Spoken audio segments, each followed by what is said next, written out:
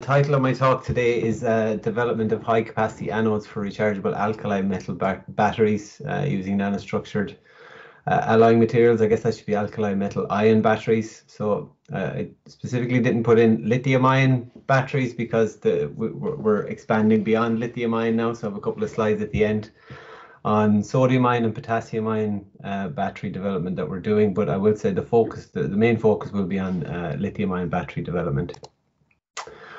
Okay, so just to um, give you a, an overview of what I'll be talking about. So first, I just give a, a brief background to lithium-ion battery technology. Um, so what's the conventional technology at the moment and, and why we're looking to alloying materials, um, specifically at the anode.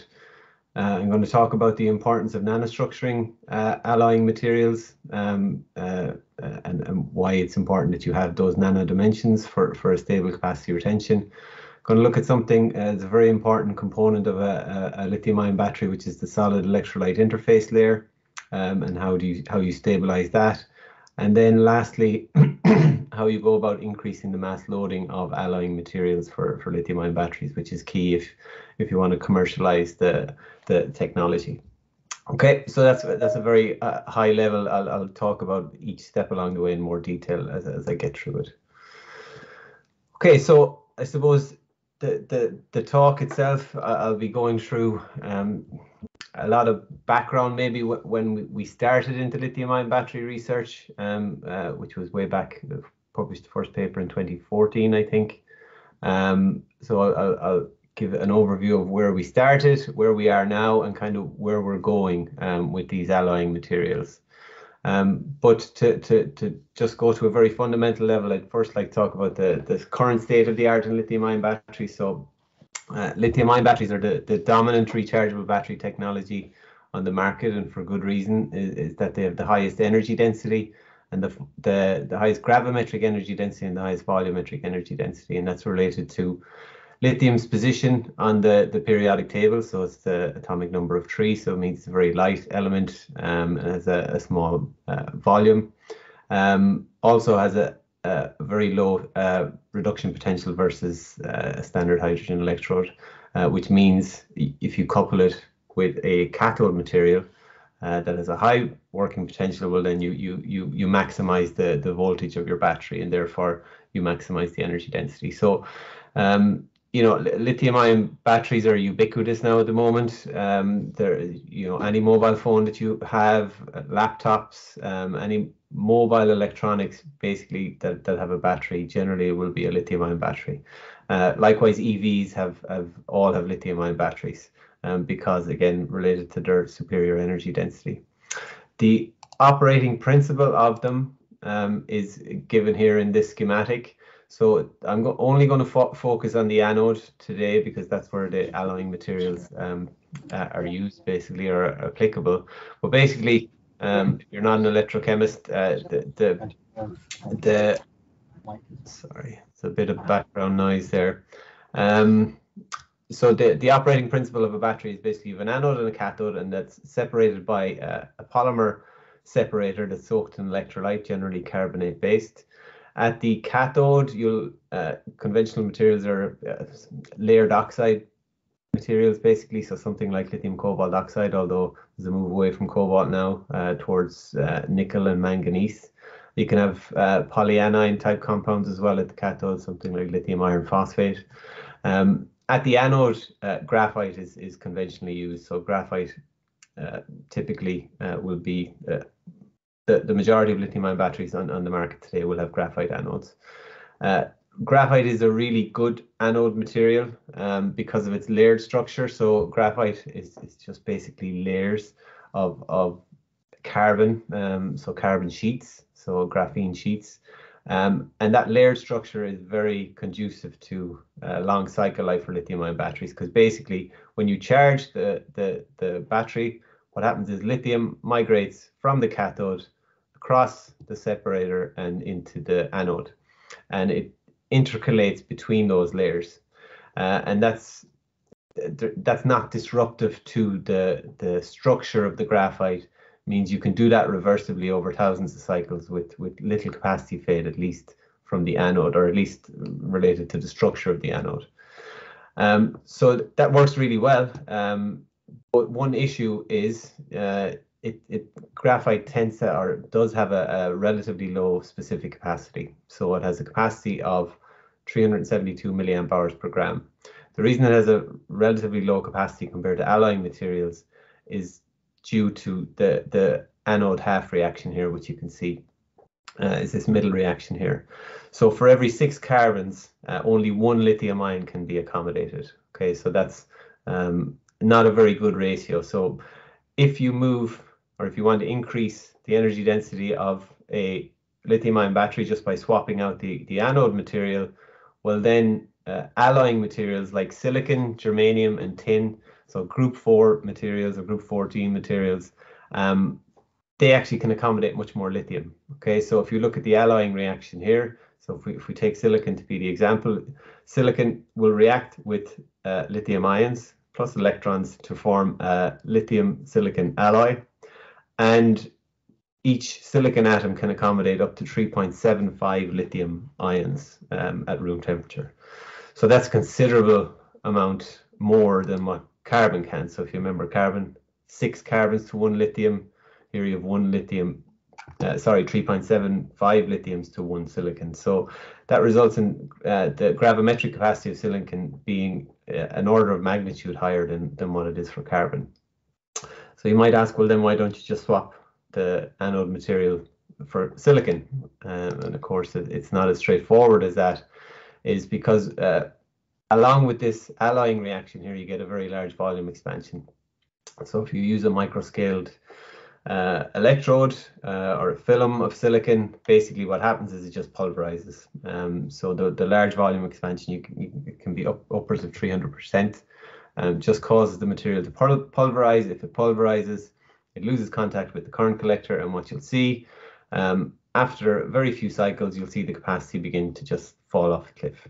Okay, so there has to be um, uh, you have to mitigate that somehow. So that's one of the major challenges um, with with uh, the incorporation of an alloying material as an anode for lithium-ion battery. So it's that large large volume expansion that leads to loss of contact with the current collector. There are other challenges, um, and the, the second one is an unstable solid electrolyte interface layer. I'll talk about what that means in, in more detail later in the talk. But basically, the SEI layer um, is um, because of the potentials that lithium-ion batteries operate at, the electrolyte is is unstable. So what you get in the first cycle or the first initial cycles uh, is you get decomposition of the electrolyte at the surface of the uh, the graphite anode, and this happens at silicon as well.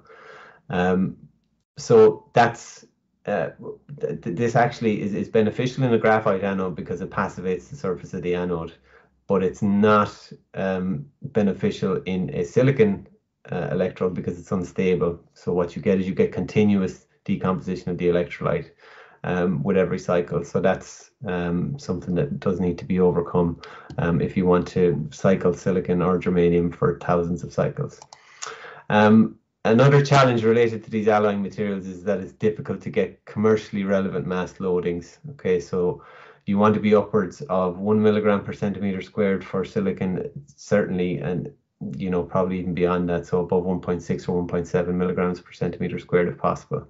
Um, so that is a challenge, getting that amount of material onto um, a, a, current collector uh, and have it perform stably.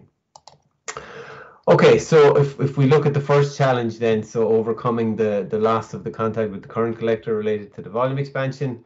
Uh, so like I said, you know, if you use micro-sized or micron-sized particles uh, or films, basically all you, you, you get is, is pulverization. Um, so there was uh, the seminal work on on uh, the use of nanostructured silicon was done by a professor uh, Cui in Stanford back in 2007. He, he published this in, in Nature Nanotechnology.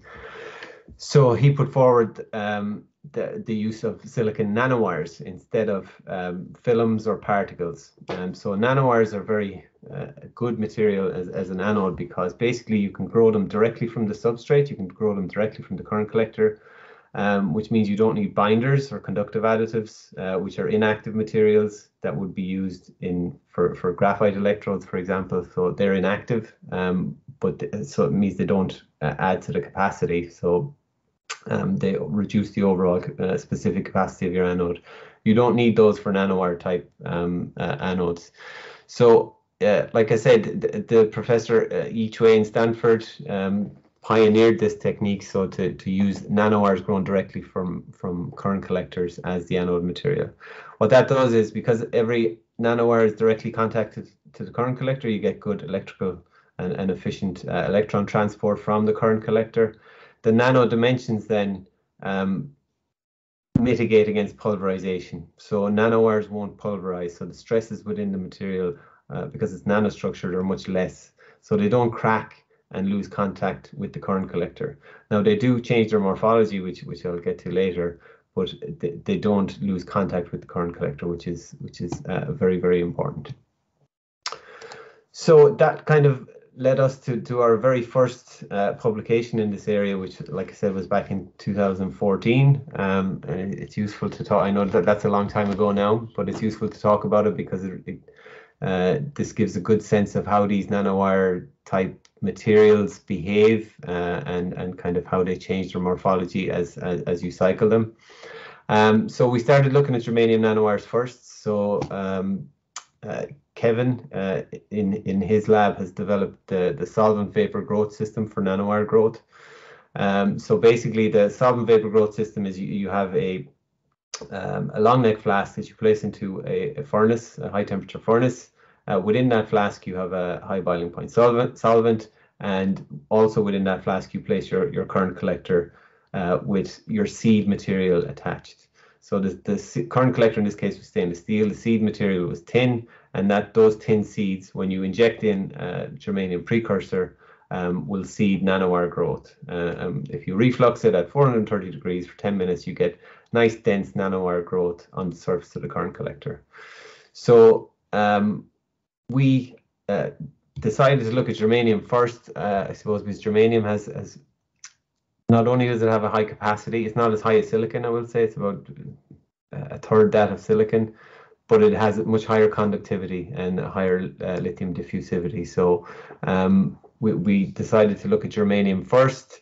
Uh, when we did, uh, well, sorry, this is what the uh, SEM of the nanowires after growth. So this is pristine material.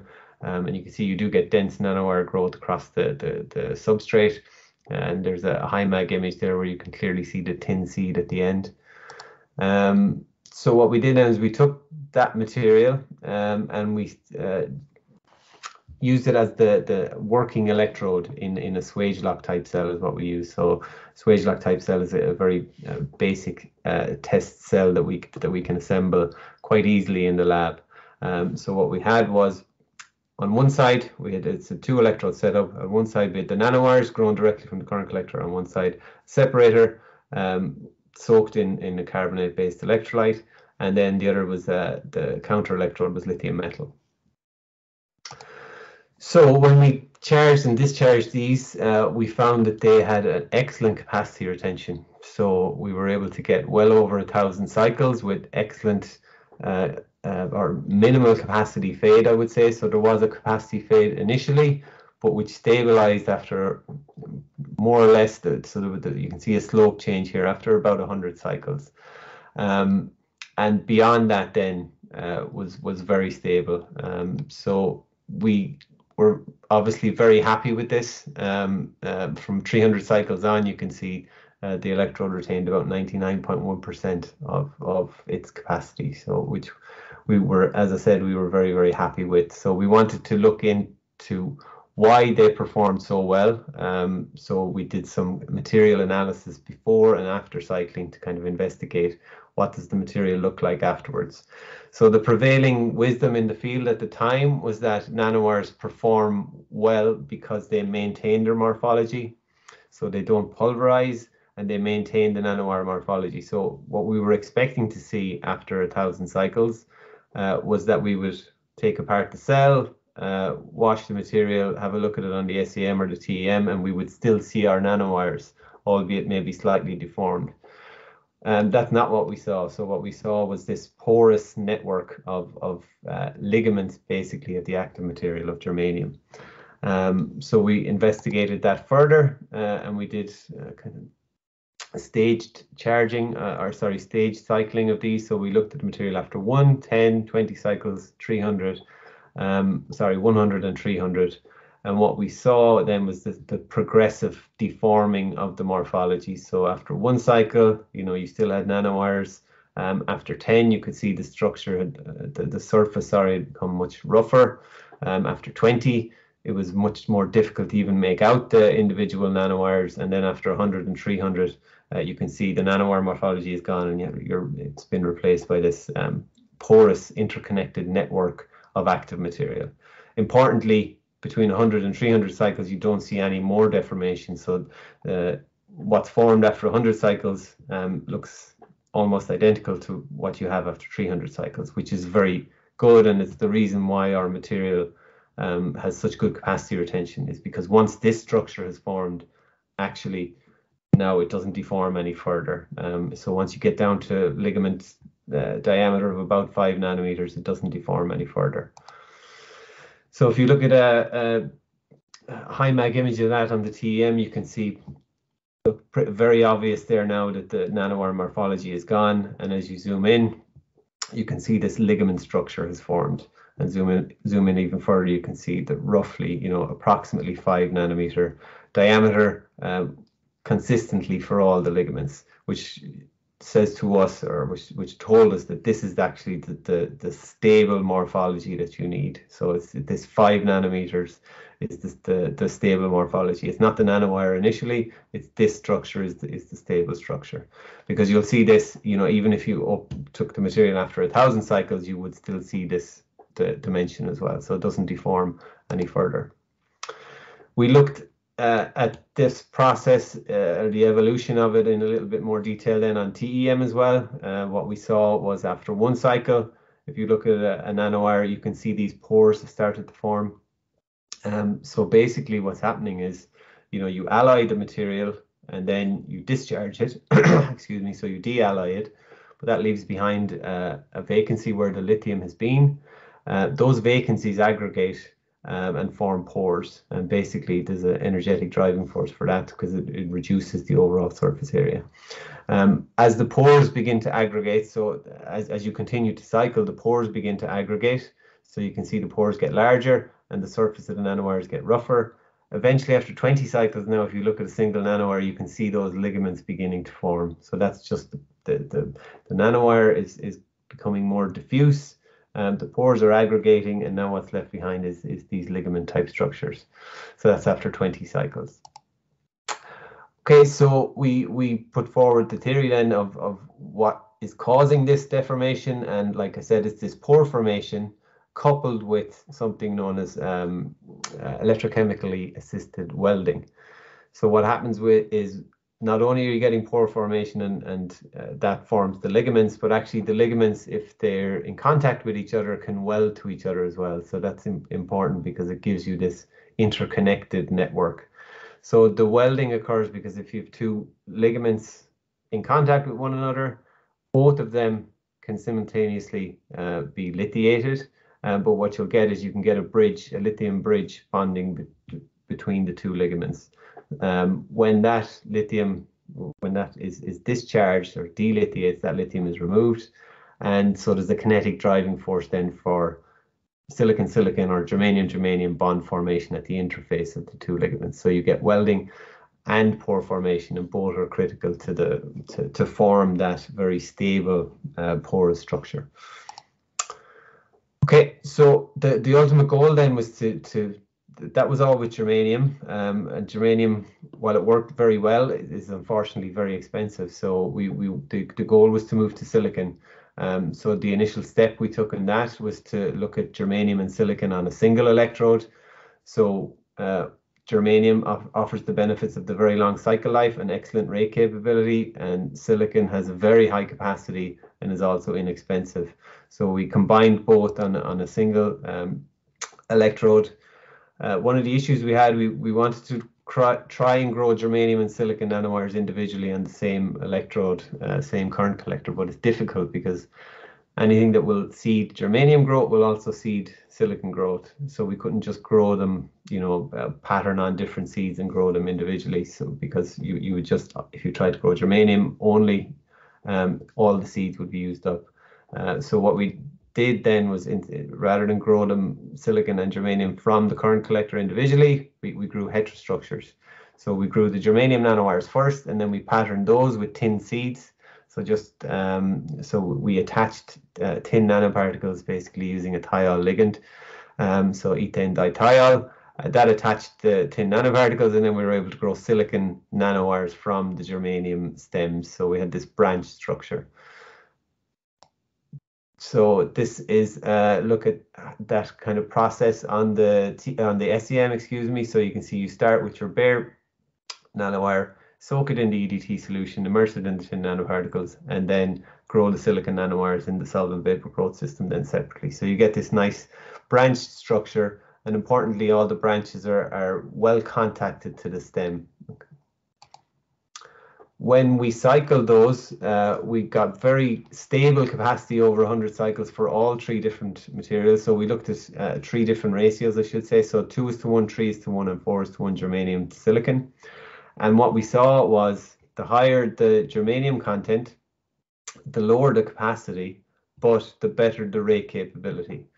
So the reason for that is, uh, as I've said earlier, uh, germanium has a much higher conductivity than silicon and also a better lithium uh, rate of lithium diffusion um, within it. So we were able to tailor then basically by by changing the ratios of germanium to silicon you can tailor either for high capacity. So if you want high capacity material, you, you increase the amount of silicon that's in there, or you can tailor it for high rate capability. So you want high rate capability, you take you you increase the amount of germanium in there. And that's important for, you know, it, it, it gives you a material now that you can tune. Okay, so graphite you can't really tune. So graphite has its properties and it, those properties are set. But with, with a kind of heterostructure like this, you can tune the the performance of it. So, for example, if you want something that uh, a battery that has a very high capacity, but maybe you're not too worried about the power density that's that's achievable from it, something like a mobile phone. Okay, you don't need to uh, discharge a mobile phone very quickly. Well, then you want something, uh, you know, you want the high silicon content there because that will give you the high capacity. If you want something that has uh, high power capability, maybe like a power tool, well then uh, maybe you want to move towards more germanium. Um, for all cases, we we saw that the germanium silicon heterostructure behaved better than silicon on its own. Okay, so and again, I guess that that's what we expected. Okay, so that was the the initial studies we had on, on these materials. Um, one thing, because uh, as, as I've alluded to on the last slide, we, we ultimately wanted to get to 100% silicon, okay, because silicon is cheap um, and germanium is very expensive. So, and also as, as I've shown you, unfortunately, silicon um, did not be, behave or didn't have the same capacity retention that germanium had. So we knew we had, so while silicon will form that porous, interconnected, stable structure, it still doesn't retain the same capacity that germanium does. So we wanted to tackle that, and we knew the the reason for it was the uh, the SEI layer, so the solid electrolyte interface layer. So, like I said in, in the introduction, this is a, a very important component of a lithium-ion battery. Um, let's check the time here. Um, okay, so the, the, basically what happens is when you when you charge uh, a anode uh, or, or a lithium ion battery, at the anode, uh, you'll get decomposition of the electrolyte. Okay, so it's just unstable at the, those potentials. For graphite, this is not a problem um, because the graphite has only about a 10% volume expansion when it's fully charged. So what happens is you get decomposition of the electrolyte and it forms this passivating surface and that SEI layer is quite stable in a graphite anode. Um, that's not the case for silicon. Okay, so for silicon, um, because you get the large volume expansion, you do get SEI formation, but it's not stable. Um, so every time, because the because you're the, the volume is expanding and contracting with every cycle, uh, the SEI layer forms and then cracks, and forms and cracks, and forms and cracks. Um, so what that does is it's very detrimental to the performance because you're getting continuing continuous electrolyte decomposition, um, which is thickening the SEI layer, um, and that's basically increasing the impedance in the cell. So it does impact the cell's long-term performance. So what we noted was that for germanium, um, the, the, SEI layer was much more stable than it was for silicon. So we wanted to try stabilize that SEI layer for silicon in, in hopes that we could uh, um, mimic the, the capacity retention that germanium has. So what we did was we looked at a series of uh, electrolyte additives that stabilized that SEI layer. So typically uh, the, the, the, standard uh, electrolyte for lithium ion batteries is carbonate based. So you can use uh, DEC or DMC, so diethyl carbonate or dimethyl carbonate, coupled with ethylene carbonate. So they're the solvents. Um, the salt then is a one molar LiPF6 salt, and we added three weight percent of each of these additives separately. So vinylene carbonate, fluoro, fluoroethylene carbonate, vinyl ethylene carbonate, and uh, LiBOB, so lithium bisoxalate All of these had been used previously with, with uh, graphite, um, and some had been used with silicon previously. So we knew they had stabilizing effects on the SEI layer. Uh, so when we coupled them with uh, silicon nanowires now, so these are 100% silicon nanowire electrodes, we saw that there was a huge variation in the performance. So the VC outperformed all the rest uh, by a margin. Um, the FEC and the LiBOB performed similarly in terms of capacity retention, but the LiBOB, you can see um, the, the data was uh, not not the smoothest of data, I should say, and VEC the same. Um, the reason for that was, um, well, it's related to the SEI layer, but those are temperature effects basically.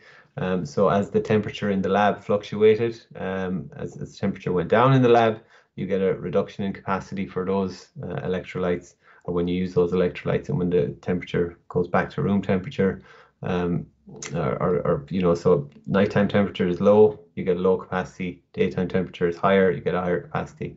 So the the, the VEC and the LiBOB were much more affected by temperature than the rest, and and basically we didn't show this, but previous uh, other groups had shown that uh, the reason for that is the SEI layer um, is is uh, has an Arrhenius dependence basically. So the lithium di diffusivity through the SEI layer has an Arrhenius dependence, and that's more affected by those two uh, electrolyte additives.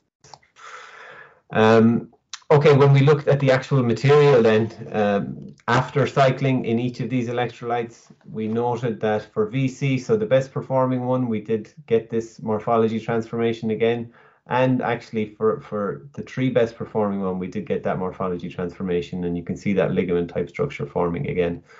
For VEC, we did get it as well, but we also found these kind of amorphous kind of areas as well that, that did not have that ligament type structure. When we use no additive at all, the, the ligament structure did not form. Okay, so and that clearly showed why the no additive doesn't uh, uh, retain much capacity at all. It's because you're not forming a stable morphology or you're not evolving into a stable morphology.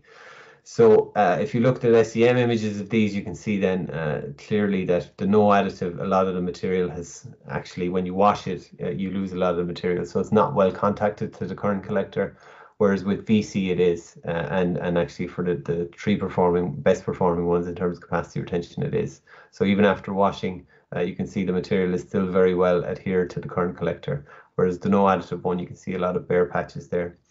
Uh, the reason for that is because, again, the no additive one is not forming that stable morphology. It's forming this kind of amorphous mass, which is not well contacted to the current collector. We did some XPS to, to analyze the chemical composition of that uh, th those SEI layers. Um, what we found was, so I'll direct your attention to the C1s spectrum, that for the two uh, VC and FEC electrolytes, there was a significant um, concentration of poly-VC in the SEI layer. Um, and this is something we expected because it had been shown for graphite previously and for other silicon um, um, type electrodes. But basically, uh, what poly-VC does is it's um, it's a polymer, obviously, um, but it provides flexibility to the SEI layer. So if that's uh, in there in, in large enough concentrations, you get a more flexible SEI layer. So when the silicon expands, then it's less prone to cracking. Uh, sorry, the SEI layer is less prone to cracking. If the SEI layer is less prone to cracking, you get you, you don't get this continuous uh, deform, uh, deformation and reformation of the, the SEI layer. So you don't get this continuous decomposition of the electrolyte. Um, or at least it, it, you do get it, but to much lesser extent than for a no additive type material. So that uh, the presence of that poly VC was was very very important. Uh, we did so it was it, for VC and FEC we found it to be in there in around six percent concentration by weight uh, in the SEI layer. For LiBOB, it's not obvious here, but we did find it as well. It was in there in, in about one percent concentration, so that explained why that did uh, have a high capacity retention. Um, LiBOB, the, the capacity retention can also be explained by some other element or other compounds that we found in the SEI layer. So boron semicarbonates, for example, that are less prone to dissolution. So not only with the SEI layer do you get cracking, but as you discharge uh, to 1.5 volts, for example, in, in a half cell, you do you can get dissolution of the, the SEI layer and LiBOB um, is forms those boron semicarbonates are, are less prone to dissolution. So that that explained why this one had a high capacity retention, even though the the amount of poly VC was was less, much less than than in the VC in the FEC. Um, we looked at so th th this XPS here is of the SEI layer. We also looked at we did XPS of the actual active material, so we washed off the SEI layer and just did XPS of the the, the silicon that was left behind. Uh, this provided a very interesting result in that when we looked at the no additive material, we actually couldn't even uh, detect elemental silicon. So now XPS is obviously it's a surface technique, so it probes around 10 nanometers in. Um, but we could not find uh, elemental silicon. So what that told us was that the SEI layer um, is is so um, unstable that it keeps cracking and recracking. So not only does it keep the SEI layer keep reforming, but it, it when it does so, it, it actually consumes the silicon. So it's consuming the active material. So it's not only that the solvent molecules are, are decomposing, they're consuming silicon at the same time. And they form these lithium silicates, so these LIX, SiOY type compounds.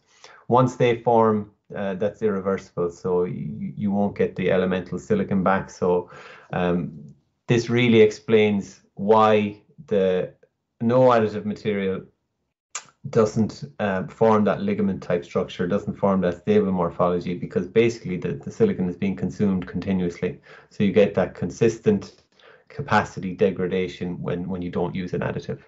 Okay, for the all the other ones with the additives, fair enough, we did find those silicates as well, but we were able to detect elemental silicon. So below the surface, um, you know, 10 nanometer, or at least within 10 nanometers, we were able to, to detect elemental silicon. So it gave us a good indication why, as I said, the no additive doesn't form that stable uh, ligament structure, whereas the, the additives do. Um, we looked at ionic liquid electrolytes as well. Um, so uh, we, we did this in, in collaboration with a group in Rome. So um, Gianni and, and a group in, so he's from ENEA and a group in KIT. So uh, Professor Stefano Passerini. We looked at ionic liquid electrolytes. Won't spend too much time on this, but we did um, we did find that uh, we could get a boost in performance with ionic liquids, but we had to have those carbonates in there. So we had to have either EC or VC, and VC was the best again. Um, interesting point on this study was the majority of studies previously uh, using ionic liquids for silicon had used the TFSI anion. Uh, we used the combination of the FSI and TFSI anion and that gave us um, it was the best performing silicon nanowire electrode in an ionic liquid at the time of publication. Now maybe that has changed now, but um, at least at the time of publication it was. The reason for that was the FSI actually um, gives the, the electrolyte a lower viscosity and hence uh, a higher ionic conductivity. Um, and that's the main reason. There, there are other reasons as well. So modeling, uh, not in our paper, but in other papers, shows that um, Li plus so lithium ions um, have a weaker electrostatic interaction with the FSI anion than they do with the TFSI anion. Therefore, um, it favors desolvation if they're solvated by FSI. Um, so that lowers the energetic barrier to charge transfer. So that was, uh, we had a couple of interesting papers on that. Okay, so that's the SEI layer. Um, the, the last major challenge then um, is the, the low mass loading of, of nanowires. So to be, uh, if, if we look at a, a, a commercial graphite electrode, um, typically they have a charge storage capacity of about 4 milliamps, milliamp hours per centimeter squared, and that would correspond to about mass loading of 11 milligrams per centimeter squared of the graphite. If you want to just match that with silicon. Uh, and if you assume uh, a capacity of silicon, that your silicon is going to um, deliver a capacity of 2,500 milliamp hours per gram, you would need a mass loading of silicon nanowires of about 1.6 milligrams per centimeter squared. Whereas if you look in the literature, uh, the typical mass loading of directly grown nanowires is, is much lower than that. So it's about 0.2 to 0.4 milligrams per centimeter squared. So that's clearly an issue if, if you want to commercialize silicon. Um, so we just published a paper in Advanced Materials. Um, so Sumair was the first author on this, um, tackling this problem basically. So looking at can we increase the mass loading by using uh, different types of current collectors, and also can we increase the flexibility, which is important if, if you want a, a flexible battery. So uh, basically, what what was done here was we, we took a uh, stainless steel fiber cloth um, using the same nanowire growth technique. So using the solvent vapor growth system and using tin seeds. So uh, Sumair he evaporated on the tin seeds and then in the solvent vapor growth system grew the nanowires. You can see this is a, an SEM of the pristine uh, fiber cloth and this is a SEM of the, the seeds after evaporation. Uh, we wanted to, because mass loading was, was one of the key parameters we were looking at here, we wanted to look at um, a range of mass loadings to see how it affected uh, the, the performance. So by varying uh, how much tin you deposited on, whether you deposited on single side or, or, or both sides of the of the cloth, and by varying reaction time, we were able to, to vary the mass loadings to between about a quarter of a milligram per centimeter squared up to 1.3. So we didn't, we couldn't reach the 1.6. We we tried to reach the 1.6 milligrams per centimeter squared, um, but this was the max we could get. So we had four different uh, data points at least. Um, if you looked at the, the cloth after growth, you can see from the low mass loading to the high mass loading. Um, clearly for all of them, you get a, a dense growth of nanowires on the surface, but for the higher mass loading ones, the the fibers of the cloth are no longer visible okay which is good okay so uh, and is what you'd expect i guess if you've uh, denser growth in there. But that's what you want because um, uh, you can see that the spaces in between the, the, the fibers are difficult to make out and you can see that nanowires from uh, individual fibers are all intertwined with one another. Um, so that's important because what you want is those uh, that material to, to be well adhered to the current collector and so if it's all intertwined with one another, then, then it will. Because if you have a planar current collector and you increase the mass loading to this level, the nanowires can actually behave somewhat like a film and delaminate and peel off. Um, so we wanted, we didn't want that to happen with this cloth, obviously. So um, the, the, the, the, the structure of the cloth prevents that because the nanowires basically intertwine with one another. Um, and we were able to show that quite simply using sonication. So if you took a stainless steel foil versus the stainless steel cloth and you sonicated it for up to an hour, the foil, you can see the nanowires, uh, the solution becomes progressively darker, and that's related to the nanowires just coming off the foil. Whereas if you do it with the cloth, um, you get no or very little at least uh, nanowires coming off. Uh, when these were tested in the battery, um, so they gave a, very good performance. Um, so we could get up to 500 milliamp, or sorry, up to um, over a thousand milliamp hours per gram for over 500 cycles. Um, importantly, I suppose, while the very high mass loading one didn't uh, retain the, the, the same capacity that the lower mass loading one did, it still performed very well and was well over twice the capacity that graphite or that's achievable with graphite. Um, what was interesting was actually they, they, they both tracked the same or more or less the same capacity up to about 200 or 250 cycles and it was only beyond that then that the higher mass loading one um, begun to to decay a little bit faster. Uh, we did uh, post-mortem analysis of these, and we again we saw that the the interconnected structure did form. Um, probably looking at time here, I'll, I'll, skip over some of these a little bit. But what was encouraging um, was, I suppose, that the morphology of the nanowires wasn't at fault here. The morphology of the the active material wasn't the problem here. So what we think is it was actually the SEI layer thickening caused the, the higher mass loading one to degrade a little bit more quickly than the lower mass loading one. And evidence of that is, was shift in the differential capacity plot peaks to, to lower potentials. Okay, um, so uh, flexible batteries was another, or uh, moving towards flexible batteries is another. It's it's it's um, if you look at the tech industry, so Samsung and and, and Apple and, and all the rest want to move towards flexible phones uh, and they're they're already there somewhat. But if you want a truly flexible phone, you need a flexible battery. So using this stainless steel fiber cloth is is moving towards that, or is a way to get there. And uh, Sumair did this very nice video, I have to say, showing how robust that current collector is, even with twisting and and deforming it. You can see no material uh, delaminates or comes off the surface, um, which is you know exactly what you'd want. And even after the twisting and deforming, he, he put that into a cell then and you saw you got very good capacity retention as well. So it had no effect on the capacity retention of the silicon, um, which was great. Okay, so that's kind of where we are. Where where we're going now, I guess, is we're we're we're still doing a lot of uh, research in in lithium-ion battery and advanced lithium-ion, but we're also expanding beyond that too. So we're looking to more sustainable technologies as well. So uh, the sustainability of, of lithium ion batteries is is questionable. So there are a number of concerns around it. So one being uh, cobalt is an essential element in, in the cathode, or at least in the majority of cathodes for lithium-ion batteries.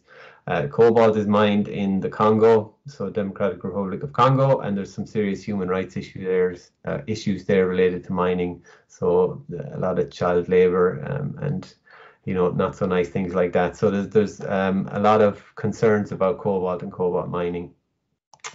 Likewise, lithium mining is unsustainable as well. Um, so the reserves are limited. Um, they're concentrated in Australia and South America.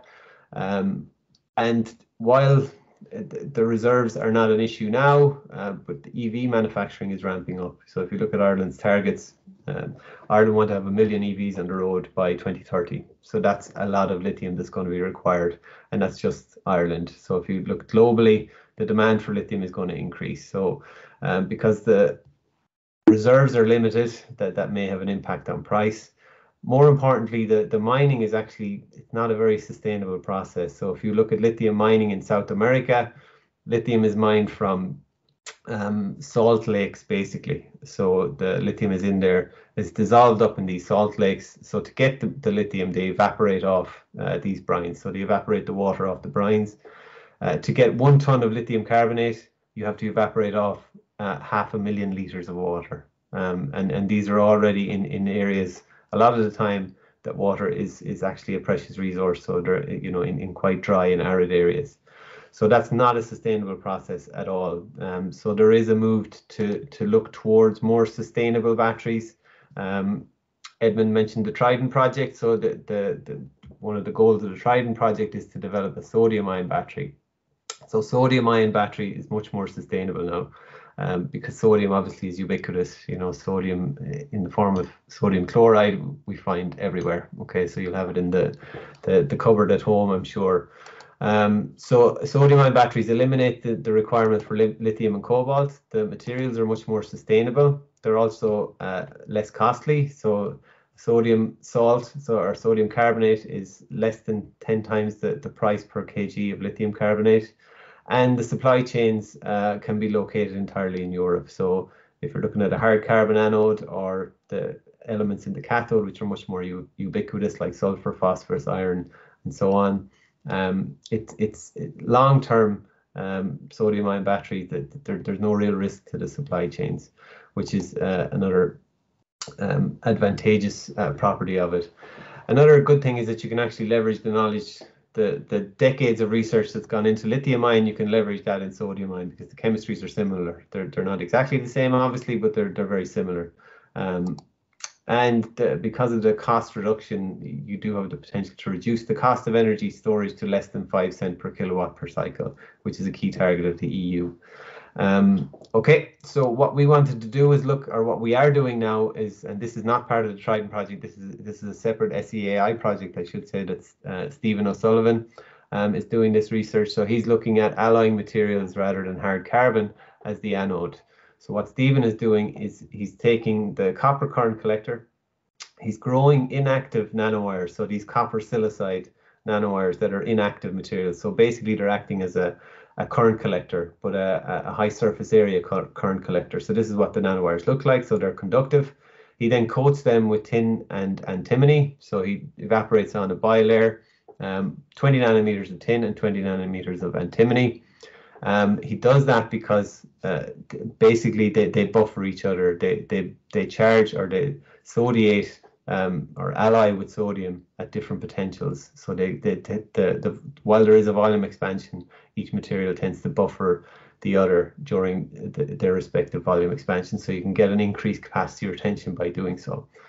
Um, so Stephen has, uh, because we're you know, we're looking at relatively novel materials here. Stephen has, has developed his own concentration of electrolyte and developed his own electrolyte. So he uses FEC additive with DME, and that gives the benefit of both the carbonate based uh, chemistry and, and glyme based uh, uh, chemistry as well.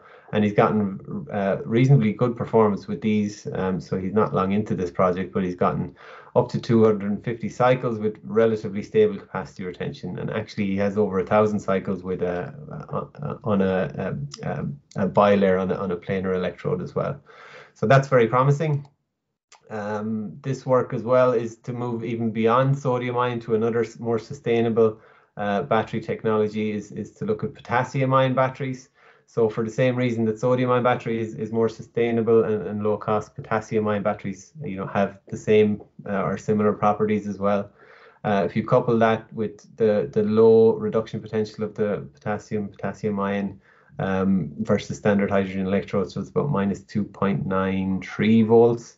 Whereas if you look at lithium, it's minus 3.04. So they're very similar. So you, um, and, and that's what you want for, for an anode material. So you want it to, to have a, a low uh, reduction potential. So potassium ions, uh, potassium ion batteries are advantageous in that respect. So Sumair is taking a very similar approach to what Stephen uh, was taking, except Sumair is going to, is, is using these copper meshes, and he's growing the copper silicide nanowires on those copper meshes, and then he's evaporating on the antimony onto that. Uh, so you can see this is what the copper mesh looks like. And if you zoom in, he gets he gets very good and, and consistent growth of the copper silicide nanowires. Again, these are acting, they're not active materials, they're acting as a, a current collector almost and a, and a high surface area current collector. Um, Sumair has uh, excellent capacity retention with his material as well, so we're, we're very close to a thousand cycles with these. Um, uh, so a thousand being a, a, very good milestone or a, a, really nice milestone. So we're hoping that there's no uh, electricity blackouts or anything that, that stops this one, but it, it should reach a thousand cycles. And we're, we're hoping to get uh, publish this and, and, and get reasonably high impact publication from it because it, it vastly outperforms anything, um, that, to the best of our knowledge, any antimony uh, based paper for potassium ion batteries on the market today, or, or published today, I should say. Okay, so that is it. Um, so first of all, uh, yeah, to, to conclude, I suppose I'd like to acknowledge all the, the co-authors on, on all those papers that I, I just talked about. In particular, maybe call out Kevin and Hugh for uh, long time collaboration with with with both of uh, both of you. So thanks for that, and and all the other co-authors um, and funding agencies. Um, thanks for the support. Okay, so that's it.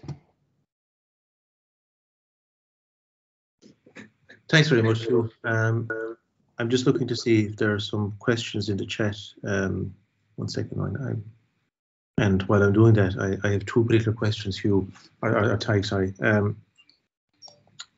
in terms of the sodium uh, and potassium, how do they compare in terms of the lithium ion battery, in terms of where, like, you, you, you've got great performance now, and you want that if you get to the thousand cycles, you, would hope uh, you'd be able to publish that.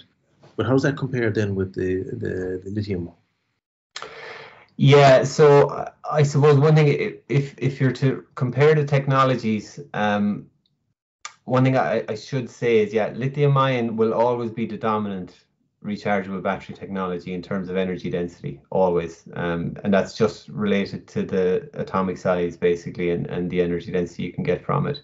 So the the goal of of the sodium ion and potassium ion research is not to compete with lithium ion in terms of energy density, but it's to compete with it in terms of sustainability and costs. So certainly yeah. you can have a much more sustainable battery and a much lower cost battery, albeit it might not have the same energy density as lithium ion. But so I, I suppose the applications then will be different. So for lithium ion, the applications are electric vehicles, you know, mobile electronics, things that you have to carry around with you that you need to be small. Yeah. But for if you're looking at an application like stationary storage of, you know, renewable energy, for example, it's a battery that does not need to be moved around. That's where sodium ion and potassium ion will have their niche. And, and how they compare? Like, is there an order of magnitude difference, or is it fifty percent, or what's the? No, no, it's it's it's it's uh, so if we look at sodium ion batteries, so if you look at the you know there actually are sodium ion batteries commercialized at the moment and energy densities i think off the top of my head there's one uh, produced by amte power in in the uk it's about 160 watt hours per kg. Okay. um, if you look at lithium ion you can get about 260 watt hours per kg. Yeah. so it's, it's not a million miles away from it. Yeah, yeah yeah yeah. One of the things i was curious though as well when you when you were looking at the i think it was sodium you you, you need to also use um, a tin. I think to see the the, the uh, at least in the initial process, and you didn't have a, a challenge then because tin is also in you know relatively short supply, or there's a it's it's it's a, it's an element where you it's not readily abundant or readily available like um, silicon would be or sodium. Yeah, and I, I would definitely agree with that. Yeah, I would definitely agree with so the the the yeah, long term, I suppose um, there, there's going to be different anode materials in sodium ion, and some are probably more sustainable than others. The hard carbon one, for example, which we're looking at in the Trident project, is a really sustainable one. Um, we're we're using or we're we're taking some of Maurice Collins's lignin derived hard carbon and using those. So that's very sustainable. But if if we want to move to tin, we get actually can get higher capacity. So there is a trade off, I would say, between elemental abundance and the energy density that you can get. I would. Yeah. So, so you're not you're not reliant on tin solely then, uh, unless you want the performance. Yeah. Exactly. If you want the, the, the, higher energy density, so the, the energy density or the capacity of tin is about three times that of the carbon. You see, so yeah. there, there, are definitely trade-offs. I, I had one one last question, uh, Tadhg. Um, just going way back to one of the slides you had there, where you, you, you were talking about um, the nanowires and you're getting delithiation and you kind of had each, each a cartoon of almost the pores and the actual uh, walls of the uh, of the wires, and then they kind of welded and cross-linked. And I, I, what I don't, I don't understand about that is you're when you're when you're removing the lithium, you're creating a vacancy. But that indicates then that it's not it's not just intercalation like you would have it with the lithium ion battery where you've um, uh, where you've a graphite anode. Is, is, is that is that correct? Yeah, no, that's absolutely correct. Yeah, so it's, it's not intercalation, definitely not. No, it's it's an alloying, it's an alloying that that occurs. So because but, because but then is it harder then because you have to you, you know you, you you start to form these um, germanium germanium or, or um, silicon silicon bonds to uh, compensate for the, the vacancy do you then have a, an activation energy barrier to actually recharge that uh, electrode because you have to break those bonds again? Um, not really, because those bonds are present anyway within what's so what's left behind. So, for example, you know, if you have two nanowires side by side, yeah. you know, after you delithiate, you still have, you know, a porous nanowire, for example, but you still have the silicon silicon bonds. Um, so what the if you have two nanowires side by side that are connected, yeah. Um, the, the driving force there is actually if they're if they are connected to one another, the driving force there is to to um, reduce the overall surface area in contact with the electrolyte. So that's what that does. Um, that that's why that silicon silicon bond forms. Um, so it, it's it's a surface energy. Um, it's reduced surface energy more than more than anything else. Um, but you still whether whether the welding formed or not, you would still have silicon silicon bonds within the material anyway. You know, so it, it doesn't inhibit uh, lithiation afterwards. Yeah. Okay. Okay. Okay. Thanks very much, Tadhg. Um, I I don't see any any questions in the uh, in the chat unless somebody is. Then I, I if not, um, yeah, sorry, uh, there are. Marina. But sorry, Edmund, there are a couple of questions there in the chat. yeah. Okay. Oh, how are you? Hi, how are you? Good now, good, yeah. Yeah. Actually, Uh, I was. Yes. Um, so, uh, Tadhg, uh, Tadhg, do you think that the tin seeds on the tip of the silicon nanowires have any effect on the properties of the material? Uh, in, the, in terms of conductivity, as an example. They they certainly do have a um, they play a role as well. Um, we didn't look at conductivity, but the tin actually um, is an active material too. So the tin is uh, uh, will actually reversibly alloy with lithium as well. So it's not even it, it's not in there just to seed. It actually is active as well. So it actually in, in, increases the the capacity of your material as well. Um, yeah, we didn't look at conductivity, but definitely that was something we were able to highlight is that we could see additional uh, plateaus and, and peaks in, in differential capacity plots that were uh, related to the reversible alloying of the tin as well. And uh, Hugh had, a, a question there, Tadhg. Um, first of all, great talk, and I'd agree. Um, and the question uh, Hugh has is, do you think the stainless steel cloth anodes could be used uh, for bipolar cell design to maximize the energy density? I would say yes. I would say yes. Um, so the bipolar design is, is where you want, you know, you need active material on both sides. So the, Yeah. the, these stainless steel cloths are, you know, they, they seem very uh, amenable or, or optimal for that. We, it's not something we've looked at, Hugh, but I think, you know, it, certainly looking at some of the European calls um, coming down the line, maybe th- these po- bipolar type designs um, are something that maybe the, the, the battery industry is moving towards. So I think it's certainly something we, we should and, and maybe will look at. Okay. Okay. Um, thanks very much, Tadhg. And I, I don't see any, any other questions. So um, could I just um, say well done? And uh, it'd be great to see you get to a thousand cycles in that last test you're running. And hopefully you'll be able to get that published fairly soon. How long does it take in terms of what sort of time frame is that? I, that that's a good question. Actually, uh, funny story. I had a conversation with Sumair about that only last week or the week before, and um, he's he knows exactly how how long that one is running because he put it on around the same time his son was born. So it's about six Okay. or seven months now, I think, at this stage. So while his his his son obviously is is his uh, most important thing in his life, this this test is his work baby. So Okay. Well, hopefully, hopefully, hopefully go over a thousand. yeah, hopefully. Uh, thanks very much, Tadhg, and uh, uh, thanks very much to everybody for attending. Okay, that's it for today. Thank you very much. Bye bye. Thanks, Evan.